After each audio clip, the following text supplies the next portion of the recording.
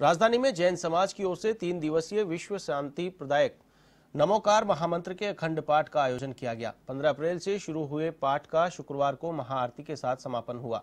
इसके तहत लाखों श्रद्धालुओं ने अपने अपने घरों में नमोकार महामंत्र के करोड़ों अखंड पाठ किए और देश को कोरोना महामारी से बचाने की अपील की। इस दिशा में दिगंबर जैन, संतों और आर्य का माताजी ने सामूहिक आह्वान किया। अखंड पाठ के समापन पर सामूहिक महाआरती की गई। तीन दिवसीय आयोजन के तहत ऋषभ मार्ग स्थित कोट खावदा हाउस पर समाज सेवी विनोद जैन कोट खावदा और दीपिका जैन ने सामूहिक पाठ किया। इसके बाद भक्तामर स्त्रोत पाठ भी किया गया। शुक्रवार को जैन समाज की ओर से बीस में तीर्थंकर भगवान मुनि सुब्रतनाथ का जन्म व तप कल्याणक महोत्सव भी मनाया गया। इसके तहत जैन बंधुओं ने भाव पूजा के बाद भगवान का चालीसा पढ़ा।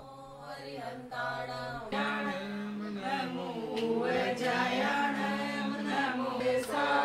ऊर्णं नमो अर्यन्तारं नमो सिद्धाणं नमो आयरियाणं